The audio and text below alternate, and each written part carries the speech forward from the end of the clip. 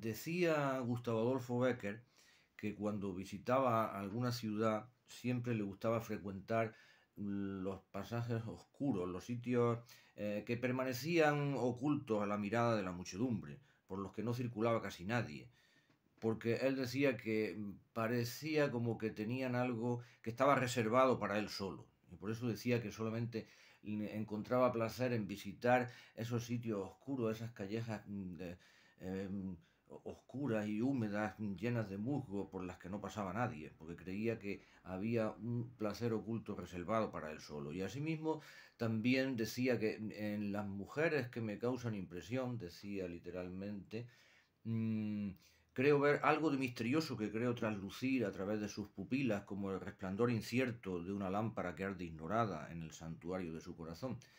Mm, algo mm, que permanecería oculto para el resto eh, del vulgo, como él decía, y parecía que estaba solamente para él. Eh, esto aplicado a la literatura mm, también nos lleva a sorpresas, porque hay obras ocultas, no ocultas, sino que no son famosas o son menos famosas, y sin embargo son verdaderas joyas.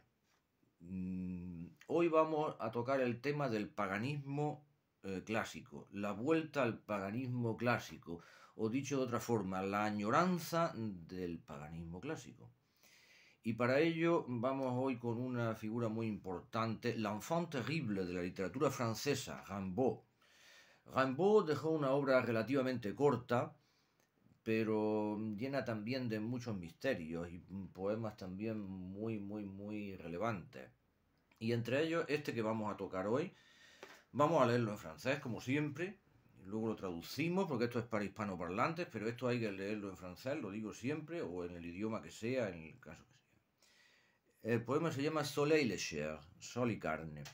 Decía Rimbaud, Le soleil, le foyer de tendresse et de vie, verse l'amour brûlant à la terre ravie, et quand on est couché sur la vallée, on sent que la terre est nubule et déborde de sang, que son immense sein, soulevé par une âme, est d'amour comme Dieu, de chair comme la femme, et qu'il renferme, gros de sève et de rayons, le grand fourmillement de tous les embryons. Decía en esta primera estrofa eh, Rambo, el sol, hogar de vida radiante de ternura, vierte su ardiente amor sobre el mundo estasiado. Y cuando nos tumbamos en el valle, eh, sentimos que la tierra es doncella rebosante de sangre, que su inmenso regazo henchido por un alma es de amor como Dios de carne, como una mujer y que encierra preñada de sabias y de luces el hervidero inmenso de todos los embriones. Em, luego continuaba Rimbaud y decía, et tu vis, et tu monte, ô Venus, ô déesse, je regrette le temps de l'antique jeunesse, des satires lascives des faunes animaux, Dieu qui mordait d'amour l'écorce des rameaux, et dans le nénuphar baisait la nymphe blonde. Je regrette le temps où les zèves du monde, l'eau du fleuve Yazer, les sang des arbres verts, dans les veins des pins mettent un univers. Todo crece, pujante, oh Venus, oh diosa, añoro aquellos días cuando el mundo era joven con sátiros lascivos, con selváticos faunos, eh, con dioses que mordían en amor la enramada, besando entre, entre nenúfares a la ninfa dorada. Eh, et dans le Dieu qui mord d'amour l'écorce des rameaux, et dans le nénuphar baisait la nymphe blonde. Eh, bueno, mm, esto explica claramente la añoranza del paganismo clásico. Él añoraba esa época de libertad, esa época eh, en la que mm, Venus, Venus Afrodita, era la grandiosa. Y decía también, Je regrette le temps de la grande Cybelle, qu'on disait parcourir gigantesquement belle sur un grand char de les splendides cités son doubles inversés dans les immensités, le pire ruissellement de la vie infinie. O sea, también deseaba, añoro aquellos días de la diosa Cibel, la grande, que recorría, cuentan enormemente bella, en su carro de bronce, ciudades deslumbrantes, y sus senos se derramaban por doquier, el arroyo purísimo de la vida infinita.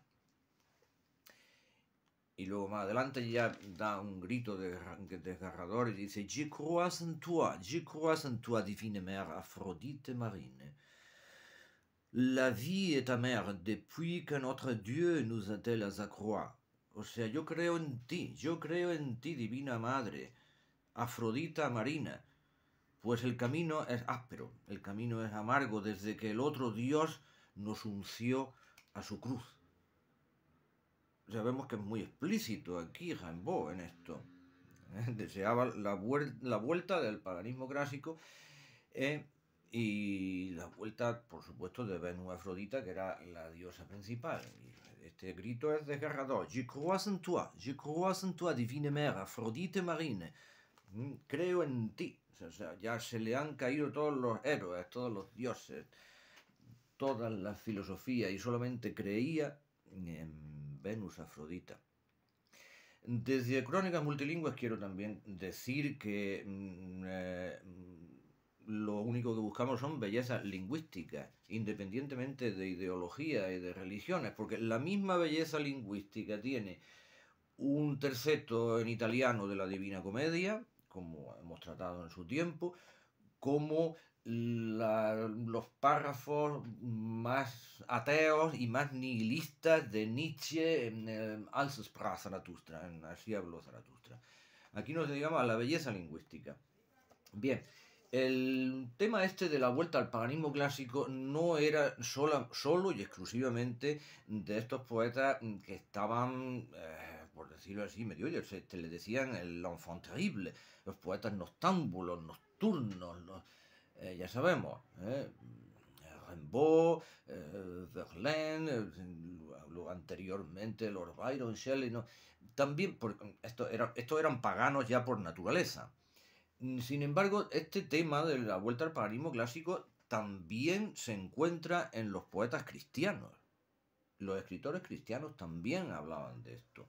¿Por qué? Porque era un tema muy atrayente, es un tema muy atractivo. Y aquí tenemos a Eichendorff, el poeta alemán Eichendorff, que tampoco es muy conocido para el, público hispanoparlante, pero eh, dejó una obra poética interesante y además una serie de narraciones y de cuentos cortos y novelas cortas muy, muy, muy interesantes. Bueno, pues uno de estos pequeños poemas de Eichendorff decía, ahora pasamos a leer en alemán y también invito a leer en alemán esto. Es rauschen die Wiffel und Schauer, als machten zu dieser Stunde um die halb versunkene Mauer die alten Götter die Runde. Hier hinter den Myrtenbäumen in heimlich dämmernden Pracht, was sprichst du wieder wie in Träumen zu mir, fantastische Nacht? Es funkelt auf mich alle Sterne. Mit glühenden Liebesblicke, es redet trunken die Ferne wie von künftigen großen Glücke. Decía aquí Eichendorfer, ähm, se murmuran en las cimas, en las cimas de los montes, y hay un eh, movimiento como si mirara algo, como si algo murmurara, como si en esta hora, mm, por las ruinas eh, mm, medio caídas, los antiguos dioses hicieran su ronda. O sea, los dioses antiguos hicieran su ronda. Y aquí en medio de, eh, de arbolillos de mirto, en, esta, eh, en este crepúsculo también maravilloso. ¿Qué es lo que hablas a mí en sueños, tú, tú, fantástica noche? ¿Qué es lo que estás hablando? Y luego acaba y dice, brillan las estrellas a lo lejos con ese ardor de amor y me hablan de algo lejano, pero también de algo mm, futuro que viene como una gran dicha, como una gran felicidad. O sea, los dioses que volverían, los dioses del paganismo clásico que volverían, porque en la primera estrofa ya decía, es rauschen die Wipfel und Schauer, als machten zu dieser Stunde um die halb versunkenen Mauer, die alten Götter die Runde. O sea, los dioses estaban allí circulando, en esa en esas ruinas medio caídas y en las cimas de, la, de las montañas. En el romanticismo alemán esto era muy muy frecuente. Tenemos que también recordar a Hölderlin. Hölderlin también hablaba de esto. Sobre esto iremos otro día. Y hay un poema anónimo que ahora me viene a, en mente. está por ahí, era un poema anónimo que está en los Heidnische Gedichte, en los poemas paganos, en alemán también, que decía, nicht in kalten Marmorsteinen, nicht in Tempel dumpf und tot, in den frischen Eichenhainen rauscht und webt der deutsche Gott. Em, esto explica más que nada eh, cómo en el seno, digamos, en el alma del pueblo alemán todavía vive ese paganismo clásico. ¿no? Dice, ni en los templos mudos, ni en las... Eh, ni, en esos mármoles que no tienen vida. No, allí no es donde vive el dios alemán. Vive en los bosques, en los grandes bosques de robles. Allí es donde vive el dios alemán. Eso decía ese poema anónimo. Bien, pues aquí hemos tomado una toma de contacto con la, añoranza del paganismo clásico, y aquí, yo, igual que Rimbaud, igual que todos los poetas lunáticos, ya caídos dioses, caídos los héroes.